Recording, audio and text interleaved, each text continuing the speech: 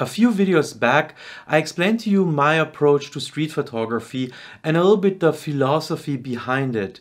And I wanted to do a follow-up on that video anyway, but then last Sunday I saw the new video from Sean Tucker where he was going into his process of photography. And uh, I will leave a link in the description below. In this video, he introduced two terms to me that I didn't know before. One was uh, hunters and fishermen. So two different approaches on photography. What's up everyone? My name is Marcus from The M Photography and in today's video we will go a little bit further into these two terms and put them into um, the relation to my previous video that I did. So I will show you some examples of um, either more a hunter behavior or a fisherman behavior in photography. And also please stick around till the end of the video because I will be sharing with you the submissions I received for the street photography challenge I posted two videos ago where I ask everyone who wants to take part to shoot photos with repeating patterns.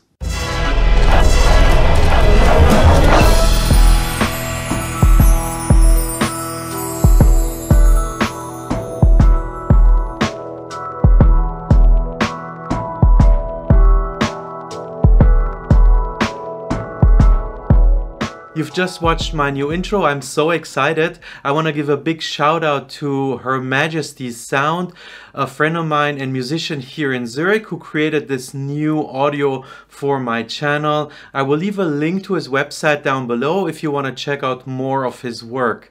I hope you enjoyed the intro. Let's now start with the topic of the video. Hunters and fishermen. So picture the hunter as being the type of photographer who uh, walks around or runs around the streets and hunts literally for their subjects, um, acts very quickly, goes, takes a shot, moves on. And the fisherman of being more the type of photographer who uh, stays in one spot and waits for something to happen at that spot or the subject to move into the frame and then take the shot.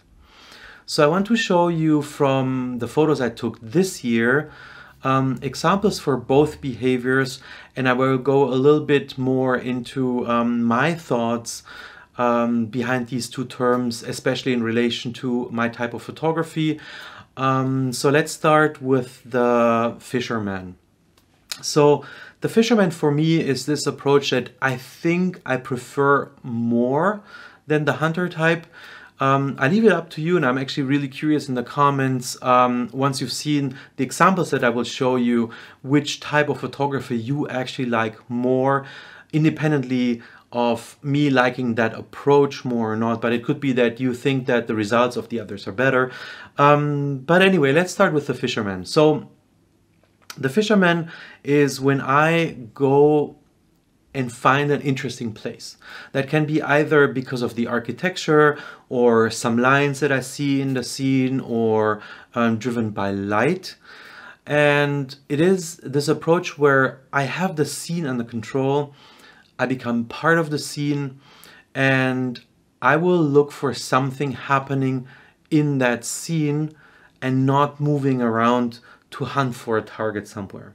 Let's take a look at the first example now. So here we have um, a scene in Marseille that I took earlier this year and I was intrigued here by this light. Uh, we have a lot of shadows in the shot. We have color in the light there, the red uh, I really liked. And I also like how the light shines on these three poles in the foreground and how they cast a shadow. And all that I was missing in this shot was something moving into the light, which is interesting enough for me, um, brings more dynamic to the scene, but at the same time fits into um, this little corridor of light here. Um, so I was there for a while, I don't know how many minutes actually, and there were cars passing, there were um, motorbikes and scooters passing um, and also people. And then suddenly this lady, I saw her in the background already. Um, and so I was just waiting until she came in this corridor of light and that was exactly what I was waiting for and I took the shot and uh, yeah so this is this photo I was really intrigued by the movement here that for me at least brings this additional excitement and dynamics into this picture. Now when it comes to Fisherman, as I said in the beginning, you will stay in this one spot. So you will have the spot under your control. Also, you will have your camera and everything preset for the light conditions and the idea that you have. So in this case, for example, with the lady in the corridor of light, I knew that I want a moving object. So obviously I needed a shutter speed that is high enough that I have the subject in focus uh, not being blurry. So um, all of these things are kind of like set, um, plannable. Um, you can take your time with composition uh, because yes, you are in this spot and um, you you pick the frame, so you have all the time in the world, um, more or less, to frame your picture. So let's take a look at another example. Same thing like in Marseille here. Uh, this is a scene from Kiev I'm standing in front of a church here and I really, really liked that blue house and that blue sky and I was shooting Kodak Ultramax. I knew that the colors will pop. I like that the street curves a little bit here and I was hoping that something would happen here in the scene so I can take the shot and have these beautiful colors and uh, at the same time have some movement in the photo because just taking a photo of that house there with the green trees in the background was not enough for me. So in this case, I waited quite a while in front of this church for something to happen. There were people with shopping bags moving into the frame. There were many cars coming uh, that kind of like disturbed me in the frame. There were people walking in the background in front of that blue building that were disturbing me and I was constantly hoping for something exciting to be happening in the frame uh, quite close to me, but not distracted by, for example, a car or something in the background. And then I looked around and I saw this lady that you now see in the frame in this beautiful green dress walking. And I thought, oh wow, I really hope she will walk in front of my camera. She would make an amazing addition to the photo. She would bring exactly the dynamics and the colors that I wanted in this shot into the frame because she repeats the green. And I was just hoping that there was no bike or car or anything happening um, or driving by while I was taking the shot. And lucky me, as you see, uh, nothing happened. She walked in front of the camera. I can take the shot and I'm really very, very happy with this shot. Um, so another typical example for me for a fisherman behavior. So let's take a look at the next shot. The next shot is a street scene in Zurich. So I was actually at a photo exhibition and when I walked out and I went to the tram station, I saw how the afternoon light was shining on the trams here in Zurich and I was completely intrigued by that and I wanted to have a very symmetric shot of, a, of an old tram especially. We have also newer trams in Zurich. I didn't find them too exciting. They also have very, very large windows. So I had to wait for one of these old trams to um, come by. And I positioned myself in a way that when they stop at the tram stop, that I can have this, yes, very symmetric shot. So I had to wait for an old tram to come be in my shot and also hopefully something going on in the windows that makes the shot a little bit more exciting than just a tram or an empty tram uh, by itself. Let's take a look at the next shot. This is a typical water paddle example. I'm sure many of you have um, shot these types of photos where you see after the rain some water and some buildings or um, trees or something reflecting in the water. For me the same here, I saw the buildings, I saw the amazing reflections, this was in France. I also took a shot with just the water paddle and um, buildings, but I found it quite boring. I just wanted to have it in case um, nothing is going on that I have at least a shot of this water here. But then I was standing there um, for a couple of minutes, uh, hoping that someone would walk by in kind of like a diagonal way, cutting through the pictures. I just wanted the feet. I didn't want to have um, faces or anything, so I really um, was very close to the water paddle actually. And so, yeah, then these two gentlemen here walked into my frame, and I'm very, very happy with the shot. I think for me at least, um, that's what makes this picture more exciting than just the water. And then the next example is um, architectural photography. So I also like to take photos of buildings, especially if they have an interesting architecture or symmetry. And this is an example of a building here in Zurich and I found these patterns in the tiles very, very exciting.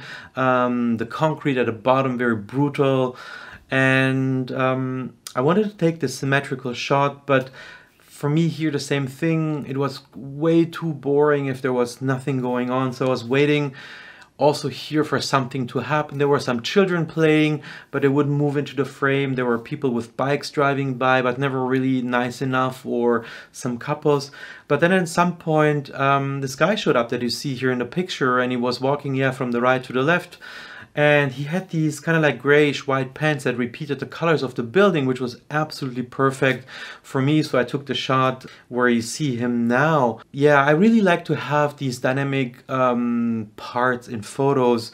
And to get them sometimes i have to wait quite a while. So here in this case is let's say easy and simple looking photo. Took me at least five six minutes for um, this to happen. And this was an early saturday morning i think or maybe lunchtime saturday. So there was not a lot going on in the scene. The last example i want to show you is from rapperswil here in switzerland. Um, I walked up to an old, um, I don't know, was it like a castle monastery? And I watched down from the stairs and I saw this kind of like composition of this entrance with the stairs and there were children playing and I liked this kind of like Z shape and I wanted to take a photo for a spread. So the idea behind this photo or the composition was to have something that can be printed on like a magazine, for example, with two pages where you can use one page for, for text or something. So basically to have a spread. So that's what I was composing for and all I was hoping for was that the children are moving in such a way that I have one on the left side of the spread and one on the right side of the spread. Now you can imagine how um, the scene was going on with the children playing. There were people walking through that gate um, with dogs back and forth. I was constantly hoping for this moment where there were just the children and not people walking by, and at the same time hoping that by me waiting there for too long, um, the children wouldn't disappear and just just just go somewhere else, um, and I wouldn't have any shot at all. So I was very fortunate to get this moment in time where um, the little girl was standing there um, looking down at the Zurich lake and the little boy uh, looking in her direction. So for me, a very beautiful moment and it paid off um, waiting there for a while. Now let's move on to the hunter behavior. So as I explained earlier, the hunter behavior is when you walk around or you run around and you take shots of things that you see very spontaneously and you need to be ready for anything. So here you usually do not have the scene under your control. Um, the light also changes a lot if you walk or depending on the situations that you are. So you need to be prepared to change your settings on your camera. Um, and also you don't have a lot of time because a lot of, a lot of the times um, these things that you want to capture that they just give you like I don't know a two three second window of you taking the shot or basically forgetting about it. So the first example I want to show you is a lady that sits on the stairs here very tired at Art Basel this year. Uh, she was charging the phone and she was sitting there um, and the light was shining so nicely on the stairs that I wanted to take the shot so I immediately went down on my knees um, had the camera ready and took this shot. So having said having the camera ready so if you're kind of like in this hunter behavior what you want to do is you want to have your camera ready at any time. So you have it in your hands. This is not something where you have the camera in your bag for example. So let's take a look at the next example.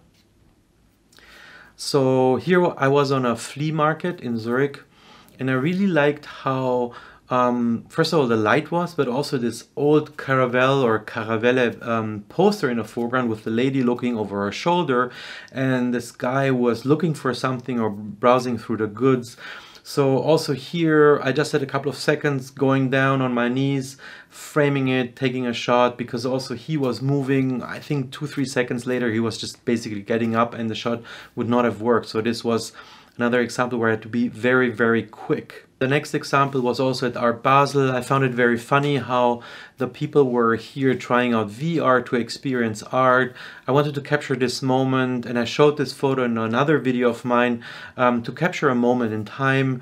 And um, also here there was a photographer present who took photos of these um, people. So I liked that he was in the frame and people experiencing VR maybe for the first time in their life.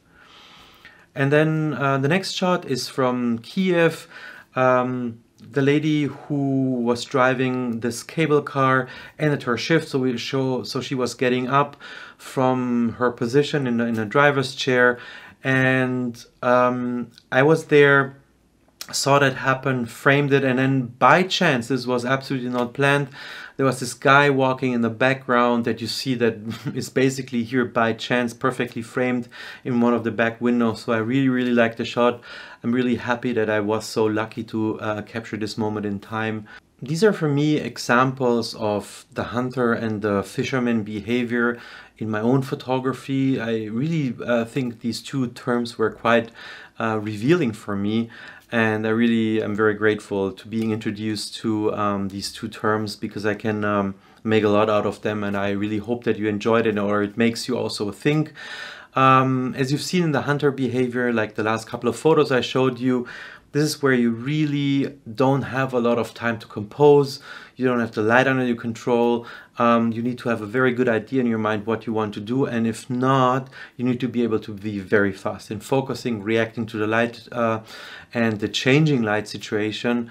So um, yeah, totally different type of street photography and um, I hope you enjoyed the photos. Let me know in the comments below what you think of these two terms or what you make out of these terms or what you uh, things I uh, think I didn't mention uh, with regards to these two terms. Let's now come to the last part of the video where I want to share with you the submissions I received for a challenge that I posted two videos ago when I was playing a street photography card game with a couple of friends of mine.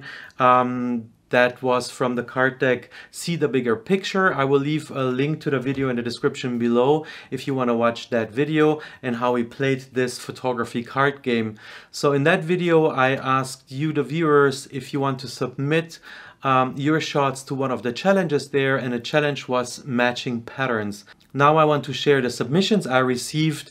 It was uh, three in total and two of them were qualifying for the challenge to win one of these street photography card decks and I'll explain to you in a second why only two of them qualify. I'm now going to show you the first submission from Peter Foot from the UK. He submitted two photos to the challenge. The first one is super nice, moody. I like the light. I like how um, these patterns from the windows are in the photo. I think the composition is really, really great and um, really well done, Peter, for this one. And then also the second uh, photo that he submitted, um, a stairway uh, spiraling, also repeating the pattern. Um, really, really well done. Thank you, Peter, for your submission. The card deck is on its way to you. And the second submission was from Dragan Todorovski, I hope I pronounced the name correctly, from North Macedonia. He submitted his colorful photo with these wooden structures and nice patterns in the backgrounds, also the shadows, I liked it a lot, the composition, the diagonals, the movement here, and then also repeating the pattern in um, the shirt or maybe the dress that the lady was wearing. So great shot also Dragan to you. Um, the deck is also on the way to you. And now we come to the third submission, which is from my girlfriend Tetiana. She's uh, one of my biggest inspirations and supporters uh, for this channel and helped me build it up from the beginning. Also, some of the shots that you see from me from outside um, were filmed by her uh, oftentimes. And uh, some of you might already have seen her also in uh, photos in previous videos or in Instagram, maybe without knowing that. Um, Tetiana is my girlfriend. So let's take a look at these two photos that uh, submitted. So here in this first shot, um, she saw this uh, zebra crossing and we were walking and by chance there was this van just passing with this kind of like zebra striping on the back. And uh, she was also so lucky that there was this um, person on a bike coming into the frame to also give this movement. So also here um, for me a great composition but it also showed me um, while watching her doing this how hard it actually is to um, do this challenge to find matching patterns and have them in a composition. So let's take a look at the second shot here. We see light falling through a door, um, producing these patterns on the ground, which then repeat itself on the trousers and you have the same type of structure in the background where the stairs are to an entrance um, in Treviso in Italy to a uh, modern art exhibition. So it took Tetiana quite a while to shoot these two photos, so a lot of time has elapsed between uh, both of the shots. It was really difficult, as she was explaining to me, to find these matching patterns. So, but uh, thanks a lot, Tetiana, that I could share your photos here on YouTube. Again, thank you so much, Peter and Dragan, for your submissions, and Tetiana, of course, also many, many thanks. That's it for today's video. I hope you enjoyed this video. Thank you so much for watching it and supporting the channel with likes and subscriptions. I truly appreciate it. And please let me know in the comments below um, what you think or if you have any questions. Um, see you next time. Laters.